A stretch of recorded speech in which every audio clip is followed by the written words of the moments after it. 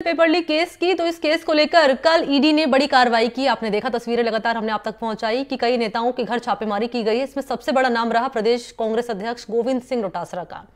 दूसरे नंबर पर थे ओम प्रकाश हुडला। और इस कार्रवाई के बाद की तस्वीरें सामने आई, जिसमें ओम प्रकाश हुडला रोते हुए नज़र आ रहे हैं। कांग्रेस की ओर से जारी हुई प्रत्याशियों की दूसरी लिस्ट में हुडला का नाम भी शामिल है। ईडी ने दौसा में उनके ठिकानों पर छापेमारी की। इस छापेमारी में क्या मिला? इसकी आधिकारिक जानकारी तो अभी सामने नहीं आई है लेकिन इस छापेमारी के बाद हुडला का एक वीडियो ज़रूर सामने आया। इसमें वो फूट फूट कर रो रहे हैं। ये वीडियो सोशल मीडिया पर लगातार वायरल हो रहा है। कितनी लाशों पे राजनीति की है यहाँ? तो ईडी की रेड के बाद फूट फूट कर रोए ओम प्रकाश हुडला जिन्हें कांग्रेस पार्टी ने टिकट दिया है। तो मुख्यमंत्री अशोक गहलोत की ओर से बयान भी दिया गया था जब प्रेस कॉन्फ्रेंस उनकी ओर से बुलाई गई थी। कितने कुकर्म इनके लोगों ने किए हैं यहाँ? कितनी लाशों पे कि हमने हुडला को टिकट दिया इसलिए हुडला पर एक कार्रवाई हुई है।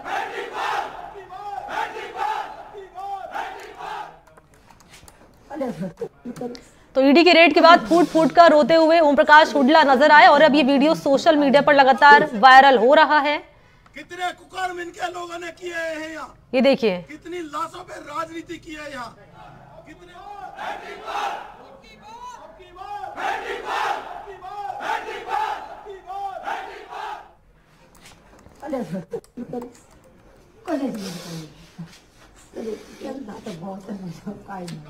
से पूछ लेना।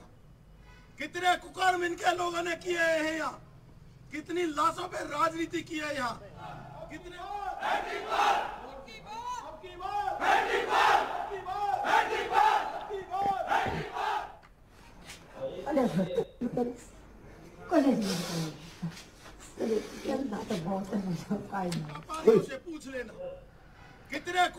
तो दौसा के महवा में पेपर लीक मामले में ईडी ने विधायक ओम प्रकाश हुडला के जयपुर और महवा स्थित आवास पर कार्रवाई की। 12 घंटे तक ये कार्रवाई चली।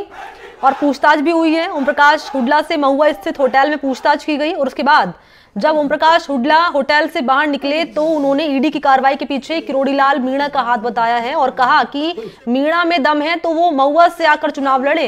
इस दौरान उन्होंने ये भी कहा कि यदि उन पर लगे आरोप साबित होते हैं तो वो आत्महत्या कर लेंगे।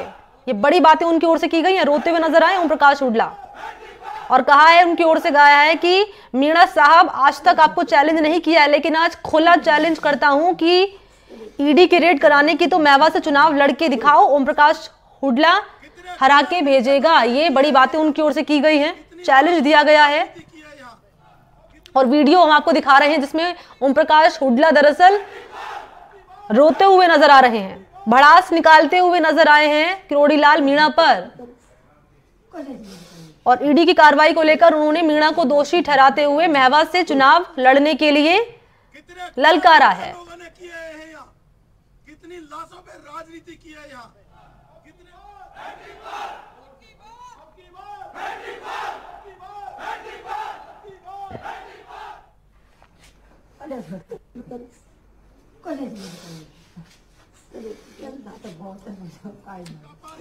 लेना। और ये उस वक्त का वीडियो आपके सामने हम रख रहे हैं जब ईडी की रेड के बाद हुडला बाहर आए और उसके बाद वो ना केवल उन्होंने किरोड़ीलाल मीणा को ललकारा, बल्कि कहा कि उनका ही हाथ है इसके पीछे और चैलेंज भी किया है कि आइए, महुआ से चुनाव लड़कर आप दिखाइए। और ये भी उनकी ओर से कहा गया कि अगर ये आरोप साबित होंगे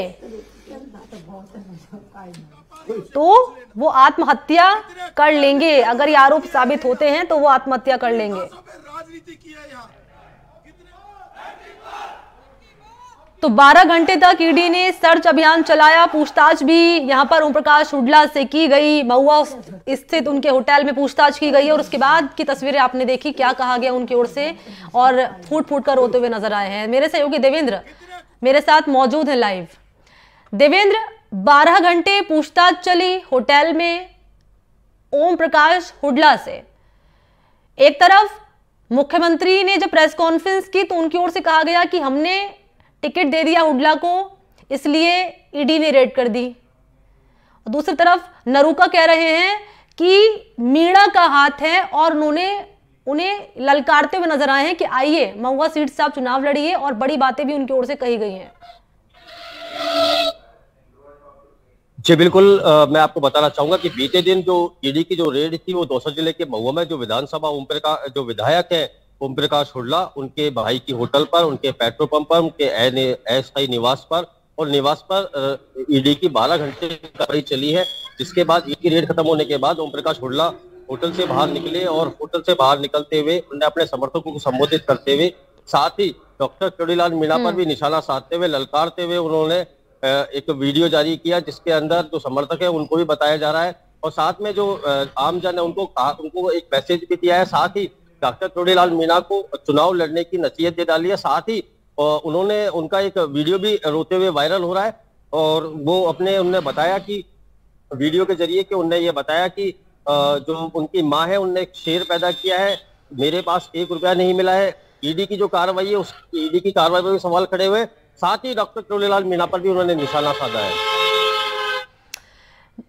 कांग्रेस पार्टी ने जब कल प्रेस कॉन्फ्रेंस के आपने देखा देवेंद्र, मुख्यमंत्री अशोक गहलोत ने ईडी की कार्रवाई को लेकर सवाल खड़े किए हैं, रंधावा ने खड़े किए हैं, वैभव गहलोत भी अब तो खड़े करे क्योंकि उनको भी समन भेज दिया गया है।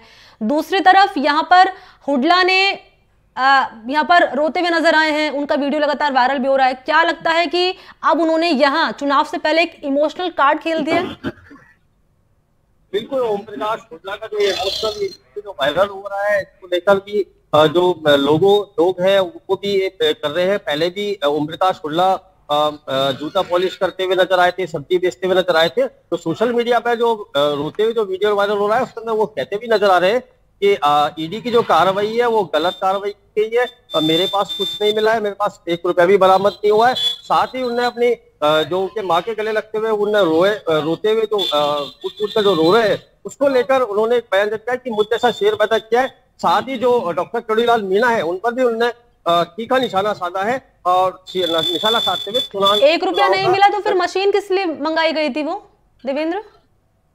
बिल्कुल मैं आपको बताना चाहूँगा कि मशीनें मंगाई गई थी लेकिन वो जो पेट्रोल पंप का जो जो पेमेंट था उसके लिए पेट्रोल पंप पर ये मशीन आई थी लेकिन होटल पे किस तरह की कोई मशीन नहीं आई थी जहाँ ओम प्रकाश उल्ला बारह घंटे तक लगातार होटल के अंदर मौजूद रहे और लास्ट में ईडी की कार्रवाई खत्म होने के बाद उन्होंने ये वीडियो जारी किया है। ठीक है। ठीक है, देवेंद्र, तमाम जानकारी देने के लिए आपका धन्यवाद।